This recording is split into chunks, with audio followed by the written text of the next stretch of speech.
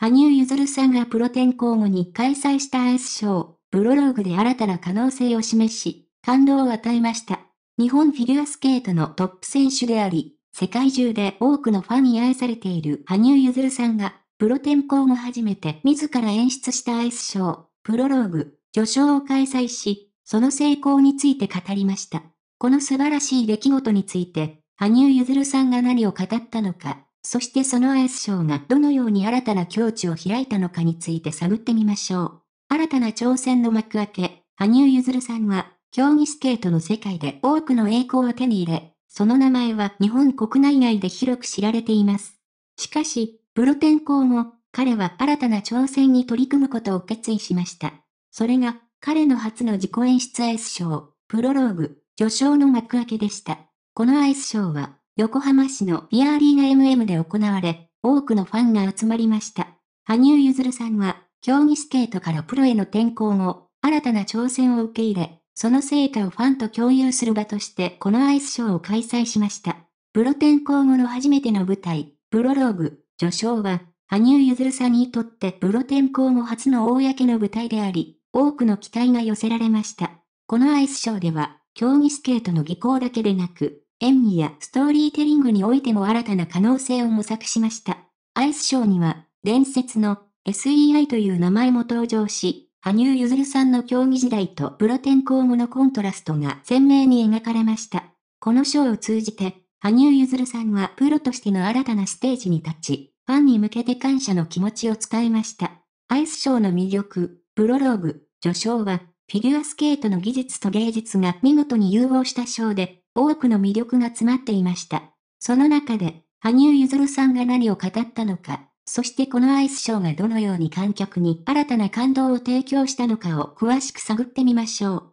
羽生結弦さんの言葉、羽生結弦さんは、プロローグ、序章の開催に際して、自身の思いを次のように語りました。フィギュアの限界を超えたい。競技を離れ、プロとして新たな可能性を追求することが、私の夢です。このショーは、その夢の一環であり、ファンと共に楽しむ場です。この言葉から、羽生結弦さんのプロ転向後の意気込みが伝わります。彼は競技の舞台からプロのエンターテイナーとしての舞台に移行し、新たな可能性を追求しようとしていることが明らかです。技術と表現の融合、プロローグ、序章では、競技スケートのテクニカルな要素だけでなく、感情豊かな表現が見事に融合されました。羽生結弦さんの美しいスケーティング技術と、その演技に込められた情熱が観客に深い感動をもたらしました。このアイスショーでは、競技スケートの厳格な採点基準に縛られることなく、羽生結弦さんは自由に自分を表現しました。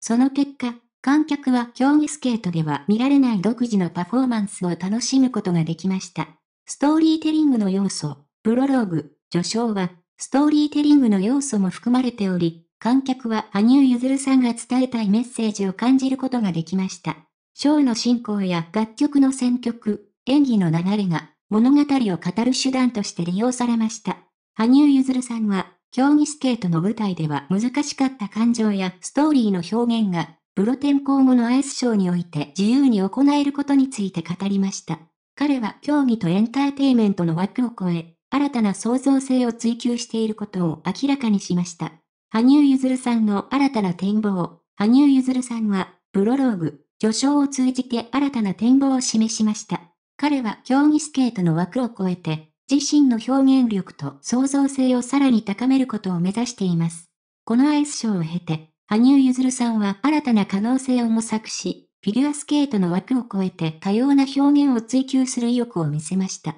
彼の新たな挑戦には多くのファンが期待を寄せており、今後の彼の活躍にますます注目が集まることでしょう。羽生結弦さんの初の自己演出アイスショー、プロローグ、序章は、彼の新たな挑戦と創造性の象徴となりました。競技スケートの枠を超え、感情豊かな表現とストーリーテリングを取り入れたこのショーは、観客に深い感動を与えました。羽生結弦さんはプロ転向後もなお、フィギュアスケートの可能性を追求し続け、その才能と情熱によって多くの人々を魅了しています。今後も彼のさらなる活躍に期待が寄せられることでしょう。